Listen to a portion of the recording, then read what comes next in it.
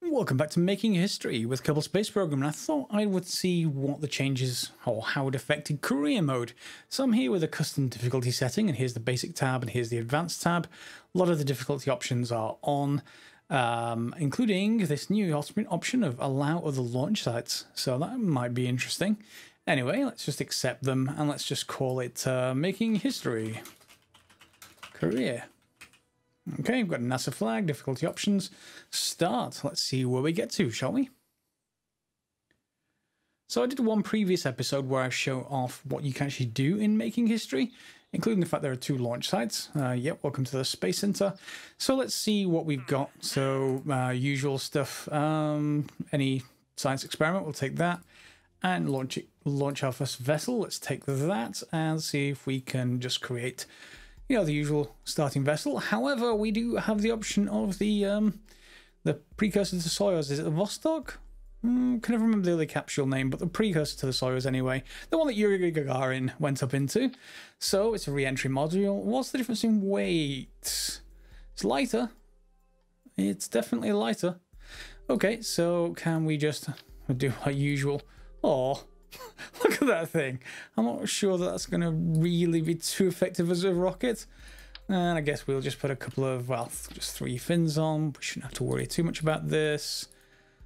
And, um, well, I'm definitely going to need a parachute and check the staging for that and some science. And at least we get more options of where, where we actually put this. So why, uh, I guess it's four-way symmetric, isn't it? So I guess we're just going to put uh, two of these on there and there. Maybe grab some from the launch pad, etc. Nothing too special. There's a detachment option and then parachute. Okay, so like we're not even going to bother titling it. We got 12,000 to start and 2,800 for this one vessel. We can choose where we want to take off from. We're just going to take off from the regular launch pad. I did show you the Woomera one in the um, in the pre uh, pre sort of career mission, uh, pre career mission, pre um, career video. So as usual, nothing much to say other than the fact that these icons are larger than I expected. And yeah, nothing much changed there. So let's just go. And we can just tilt over. Well, we can, can't really tilt over a little bit. We're already going... Uh, yep, that's fine. In fact, this thing doesn't have any control at all. I wonder if that means there is no reaction wheels in here. Interesting. In any case, we can sort of lose that and drop our parachute, and of course we should come back down in this ball. And I don't really have any mods at the moment, so uh, we're going to just keep that and probably wait till we get back onto the launch pad or close to the launch pad for the other goo canister. Let's head back down again. There you go. Sure how the stable this is going to be when we actually land, but uh, otherwise it's... Uh, where did that hit the ground? Hopefully nowhere nearby to cause any damage. And let's just cut to when we hit the ground. And back on the ground. Touchdown. There we go. I guess we'll see if we can get any more signs. Yeah, why not? And uh, recover. In fact, I should get us our first two missions the way. And uh, yeah, there we go. So 15 science and what our funds are like 53,000. It's pretty good. And we've got lots of missions. Okay, so escape the atmosphere. Mm, all right. Test the hammer in flight, so that will need two stages to do that. And it needs to be a certain height, no problem. Haul that into flight again. That needs to be on the craft and uh, haul that into flight. Mm, okay, so we're definitely going to be able to escape the atmosphere at some point. Let's see if we can unlock some nodes, shall we? So basic rocketry, is there anything new in there? No, there isn't, but we'll take that anyway. And engineering, that gives us a decoupler. That is a new decoupler, I think. It's certainly a new model. Thermometer communotrons, yes, let's take those as well. And we don't have anything for the next nodes, so on we go. Let's just head in here and see if we can build uh, a different rocket. So shall we keep with this uh, this capsule? It's pretty cool, but it didn't have any reaction wheels, so or at least I didn't have any ability to control it.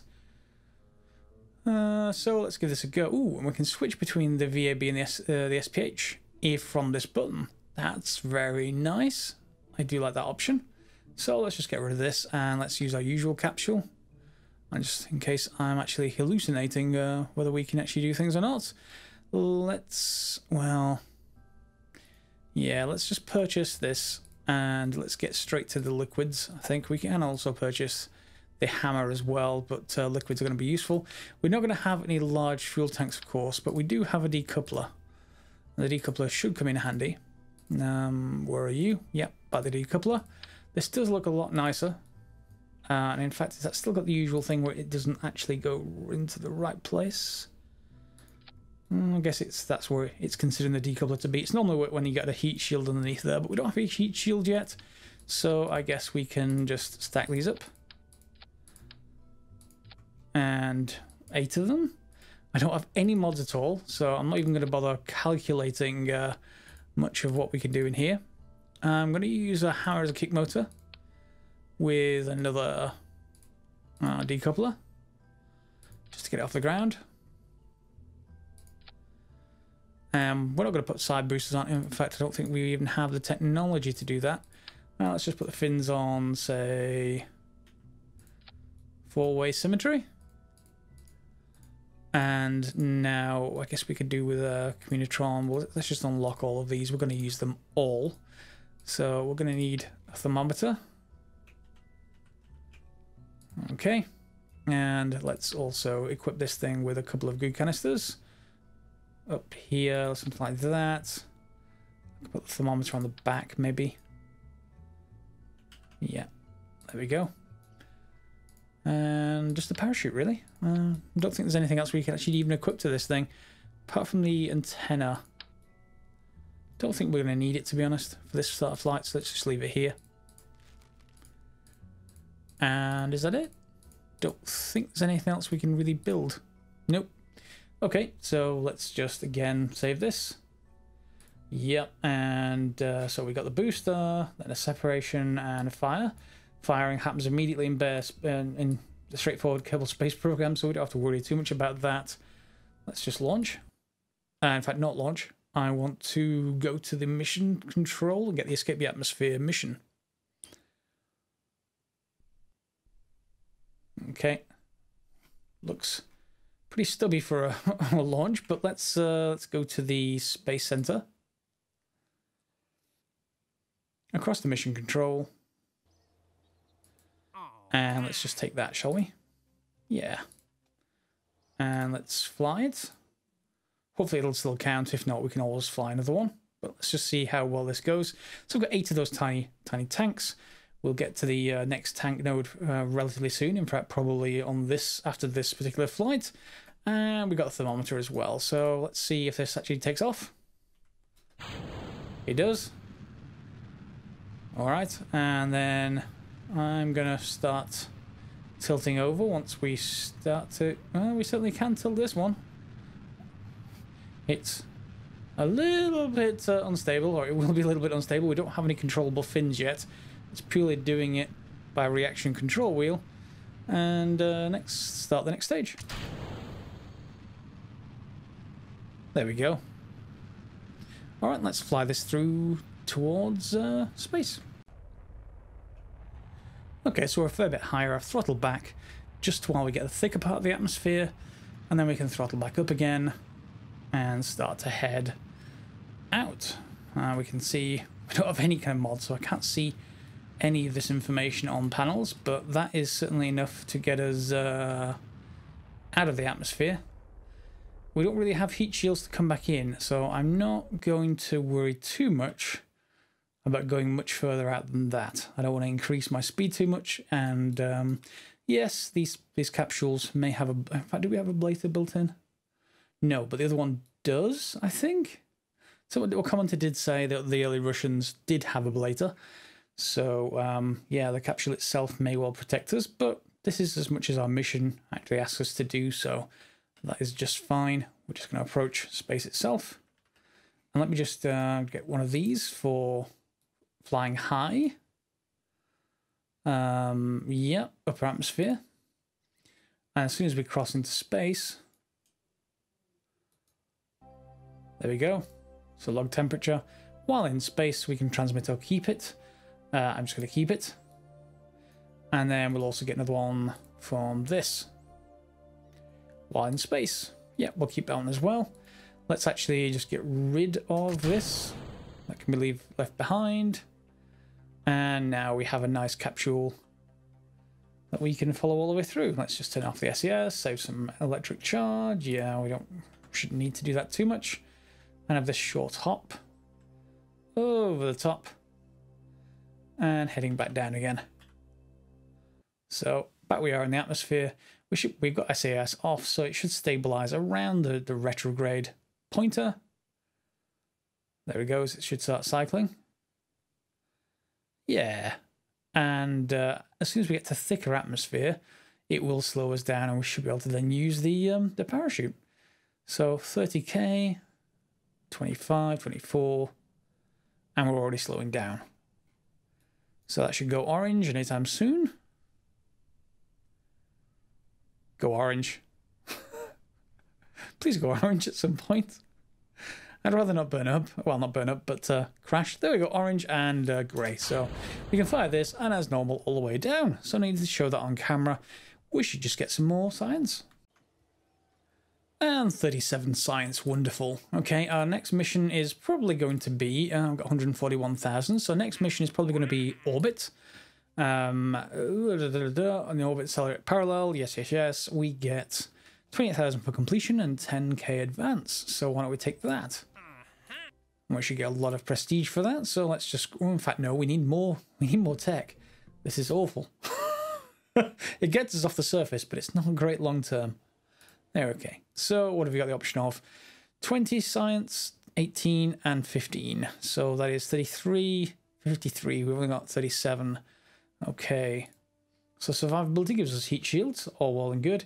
Gives us more science. Again, very good. And drogue chutes and service bays. Uh, stability, that's the controllable node and the radial decoupler.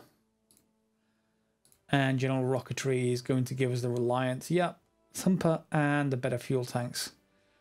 Hmm, difficult one actually. Um, which ones do I actually want? I think I'm going to head and try without having radial uh, boosters on here. So I'm going to take the this one.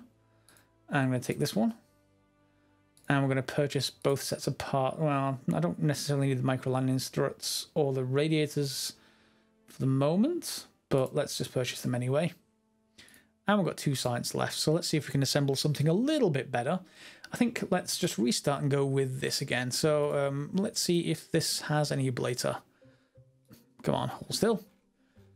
Um, ablator, yes, I'm 20. Good, good, good. So we should be safe as long as we come in bottom first, which I presume is where the ablator is. So, ideal orbital craft. Unlike uh, the command pod, do you have a ablator? Nope.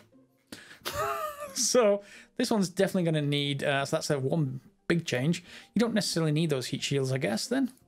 But the other stuff in that node is very good anyway. And we're going to have uh, four of these at least, maybe five. Something like that. Are these double exactly? Yes, they are.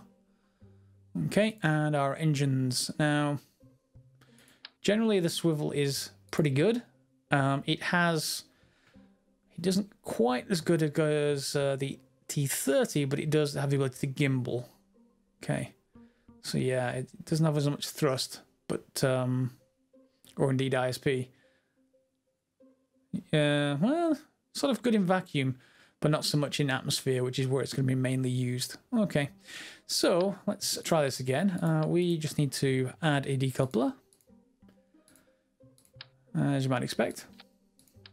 And that actually fits really nicely. Aside from the side of size of all these parts looking a bit small for this, otherwise it looks fine. Let me just grab another one of those. And we're going to do the same thing again. Let's see how close we can get to orbit. So that will be a good one to start with. We don't need the payload bay just yet. or the landing struts, or the heat shield, hopefully.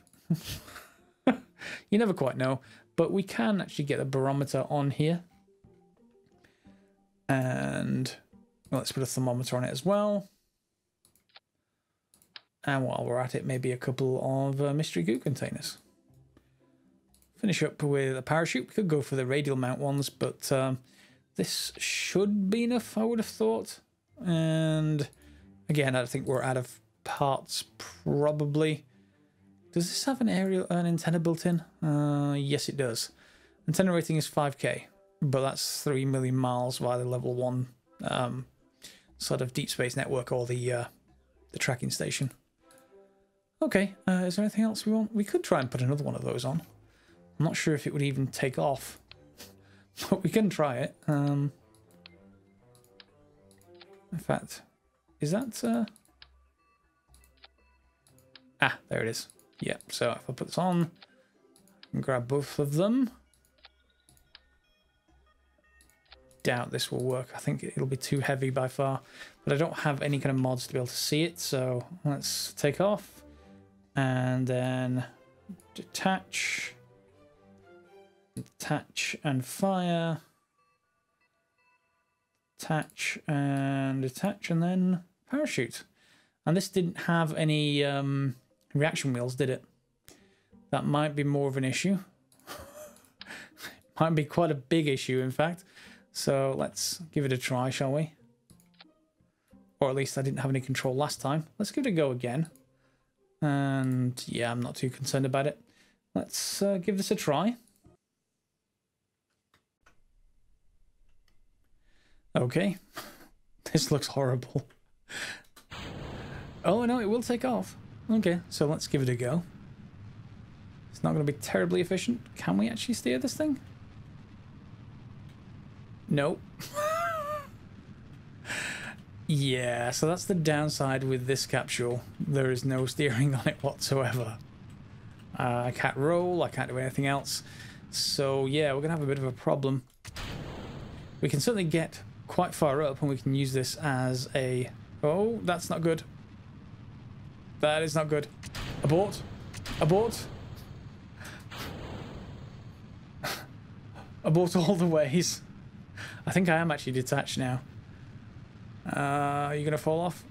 Yeah, please fall off. Please.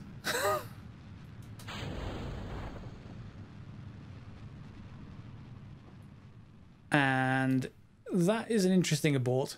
But we should get back to the ground, so we probably can use this. We're probably going to have to go for the traditional capsule, I think. We need some kind of controls or reaction wheels, which I don't have access to yet. So, yeah, maybe don't use this unless you plan to go in orbit by some kind of tower that points you in the right direction, and then hope this will keep you um, going in the right way. Okay, so even though that didn't get into orbit, it did get us 14 science. I used that just before we landed and splashed down into the uh, sort of on the beach area, really, uh, Kerbin Shores. So that is fine. And we still got plenty of funds. So let's just change that back over to our, oh, our traditional capsule, shall we? It's a, such a shame. I quite like this one. But uh, yeah, it's going to need some kind of external reaction wheel, I think. So let's take off our experiments and our parachutes. There we go. And let's get back to our typical one. And we're probably going to want the, uh, the heat, oops, just clicked off the screen. Uh, we're probably going to want the heat shields, aren't we? Uh, thermal. Thermal. Heat shield, 1.25 meters. And will you detach? Will you attach properly? Nope. Still got that issue where there's two nodes. It's fine, it works. So let's just put these on. And Let's put a barometer on the back and a thermometer. I'll probably have to switch that to single. Yep. Don't want anything obstructing the hatch, of course. And that's everything back together again, I think. So, um, bottom booster, detach next booster, detach main engine, and drop. Uh, is that detach? That's detach. So the heat shield is fine. Okay. Try again. All right, so here we are. Let's start the SAS up and take off. And this time, hopefully I should have some control. We shall see very shortly. And of course I can't use MechJeb or any kind of add-on to actually uh, fly this thing. Unlike Realism Overhaul where that's pretty much required. There's pretty much no two ways around it. Okay, we're just about to run out of solid fuel on this first booster. Second booster, and let's start tipping over oh, just a little bit. And then we can start into our pitch program. And we're just going to head straight east. Remember, this space center is still on the equator, unlike the alternate one. So let's start tipping over. And then we should be going into the um, liquid fuel stage. There we go. This looks far too short a rocket. We may have to try and get more science and then get boosters, but at least we have this going for us. And we can bring ourselves over. Pitch at 45 degrees, there, thereabouts. We're leading the prograde marker. And what's our Apo like? 30, 40, and we can just keep following that up. We need to get above 70. And of course we want some time to Apo, but we don't really have anything that can give us that information at the moment. Okay, so there's 75, 76 and we can tilt over a little bit. We've got less than half a tank left, which is not great. Um, the usual orbiter has the LV909 up here with one of these tanks, and then this entire stage can be below that, but we don't have a LV909 yet. So that is um, that's something gonna have to get next, and that's fine. So we should be able to get at least the barometer. Uh, probably. Ooh, I want to say transmit. Oh, okay, so that is going to need an antenna. Fine, let's just keep it. Uh, in fact, we've already kept it, haven't we, because we couldn't transmit.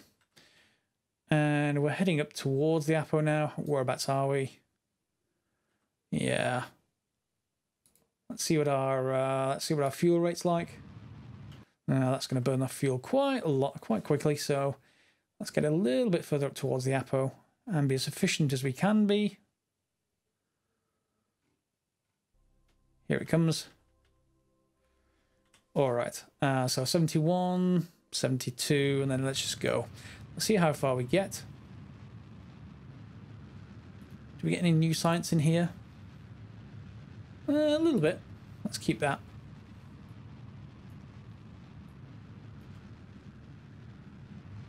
I guess we can uh, just shut that down again because our Apo is going to have moved over. Eh, not too bad. Not too bad. Let's keep going. I think we're still going to be short though. Let's just point at prograde. There we go. And of course, the problem is if we go too far and we don't have any fuel to turn around, uh, Jebediah, we're stuck up here. So it's not too bad, but it definitely does need that top stage, I think, with the LV909 or something like that.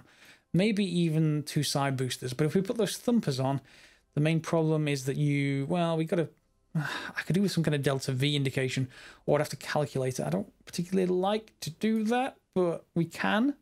Um, let's just use up the rest of our fuel, see how far we can get. it is almost, almost there. I just don't want to run out of fuel and be in orbit. See what I mean? Almost. All right, so let's spin around.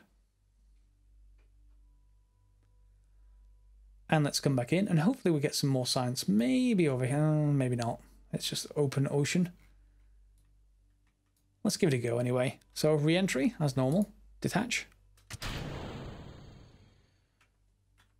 Okay, and we're going to go right around the world here, so we should, well, we should be flying up here for quite some time. Let's head back down. Hmm, maybe desert. That might be a possibility.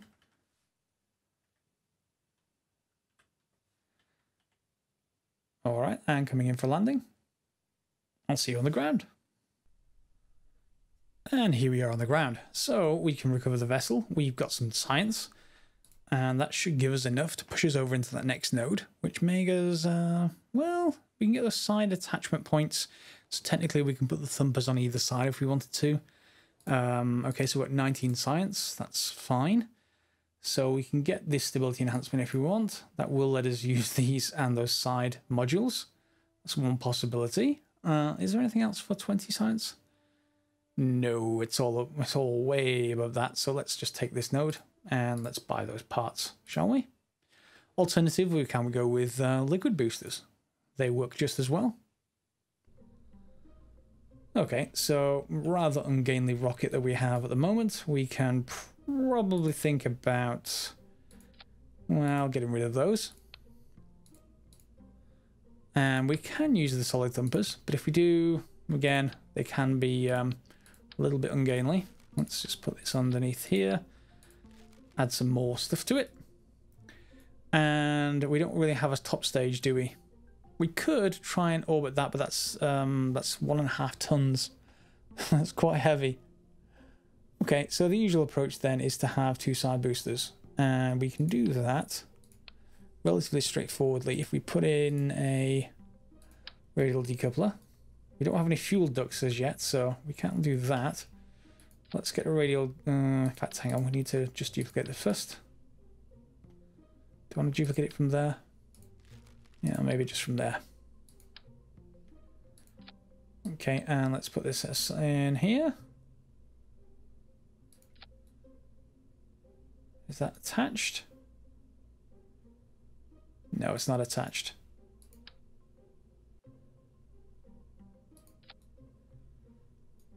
Always a little bit temperamental to get these attached. Let me just refit that and we'll come back to you. Okay, I eventually went with this craft uh, because of part limits and weight limits, etc. It's pretty much the maximum size for this particular launch pad, so I just want to see if this does any better. Um, the problem with these thumpers are generally that also we can't really steer until the engine comes on because they, they just it's got too much uh, pretty much inertia. And away we go.